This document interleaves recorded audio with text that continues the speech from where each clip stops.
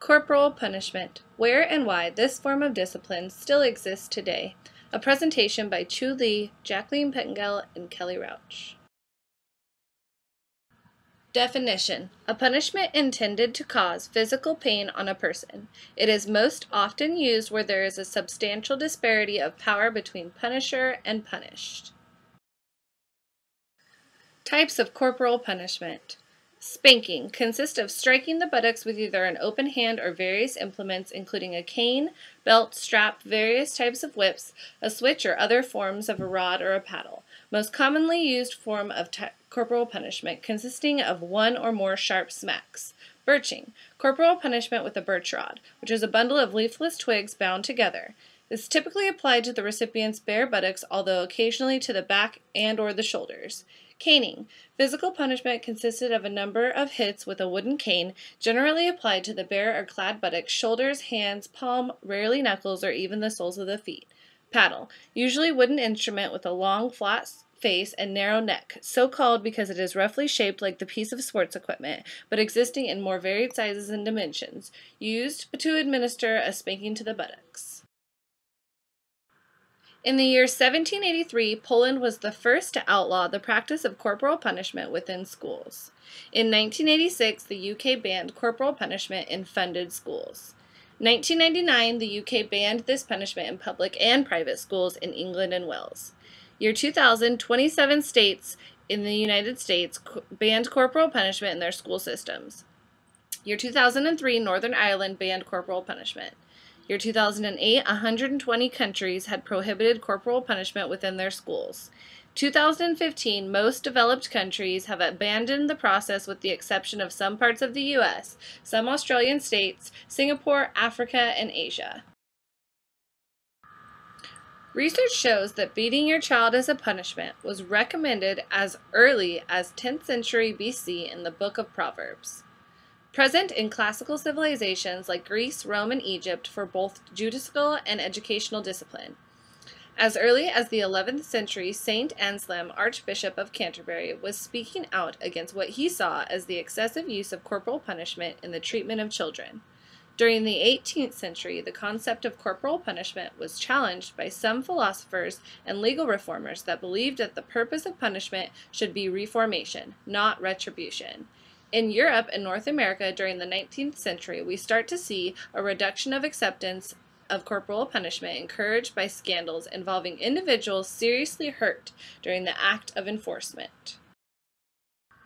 The death of Reginald Chancellor. 1860 legal case in Eastbourne, England concerning the death of 15-year-old Reginald Chancellor at the hands of his teacher, Thomas Hopley. Hopley used corporal punishment with the declared intention of overcoming what he described as stubbornness by Chancellor, but instead beat the boy to death. Chancellor's brother requested an autopsy, and as a result, Hopley was arrested and charged with manslaughter, and found guilty at trial and sentenced to four years in prison. The Victorian press intensely covered the trial, and as a result inspired massive debate over the use of corporal punishment in schools, and the case became an important legal precedent in the United Kingdom for discussions of corporal punishment in schools and reasonable limits on discipline.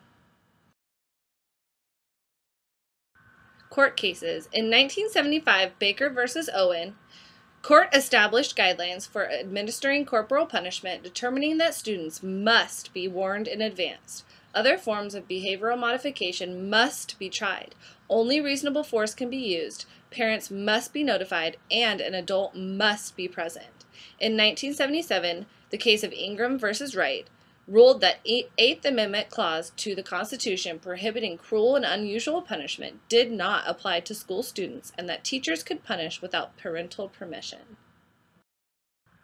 School spanking remains lawful in 19 states in America over the opposition of 80% of American parents, American Medical Association, the American Academy of Pediatrics, American Psychiatric Association, the American Psychological Association, the National Educational Association, American Civil Liberties Union, the Human Rights Watch, the UN Committee of the Rights of the Child, and many others. Corporal punish is not a controversy, debate, or discussion, but instead a continuing and detrimental failure of the American style democracy.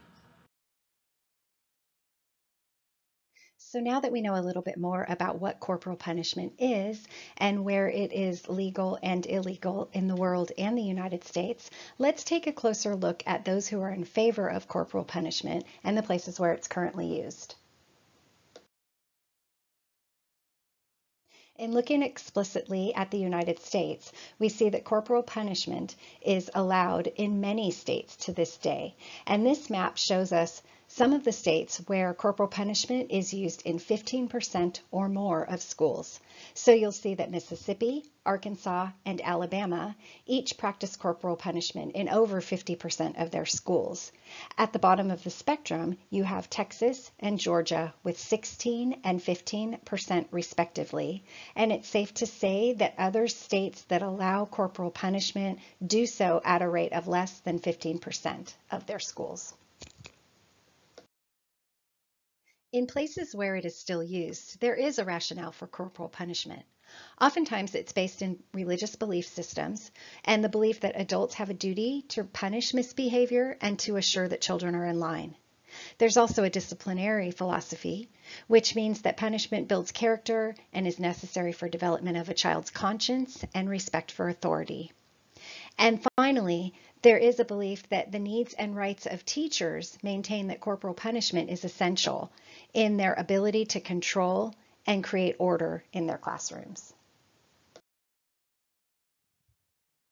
In addition to a rationale, there is also believed to be a positive side to corporal punishment. In some cases, people believe it is the most appropriate discipline for willful children.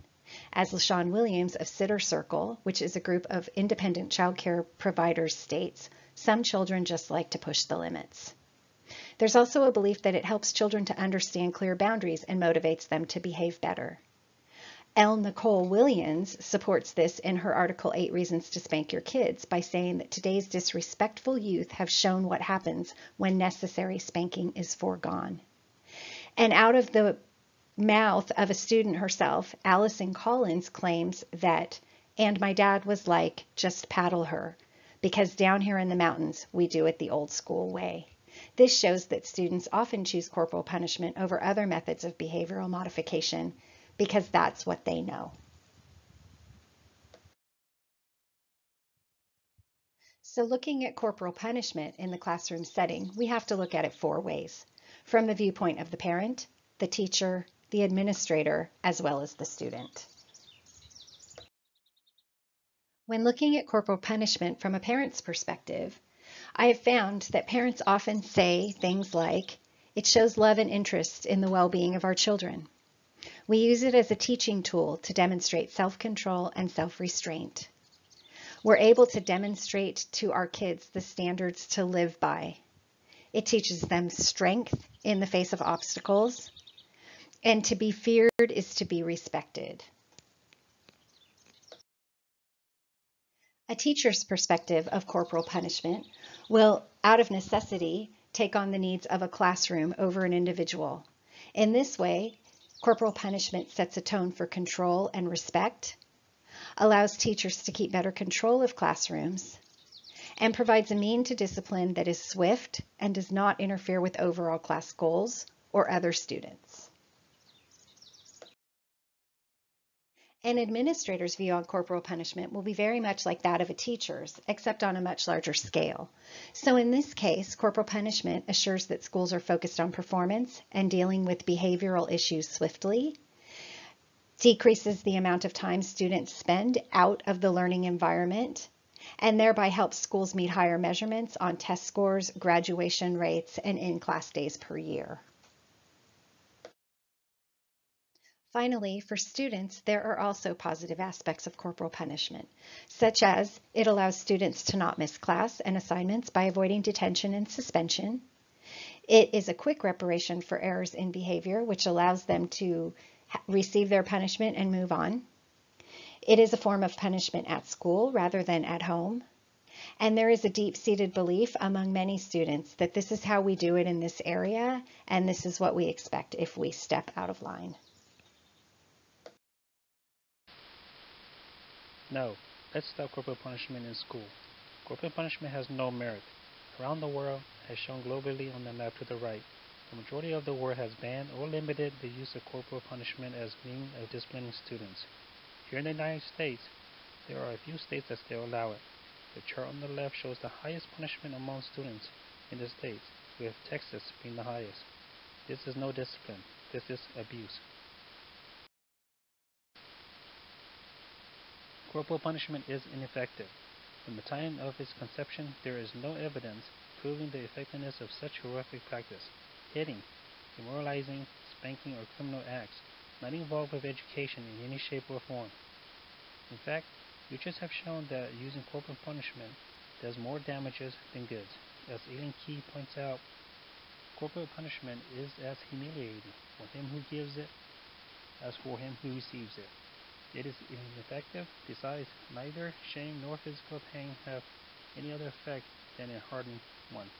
The list of some of the disadvantages of corporal punishment are giving harms to students' physical and mental health, improper demonstration, unwilling to investigate into the real causes of students' proper behaviors, giving rise to resistance, having negative influence on students' learning atmosphere.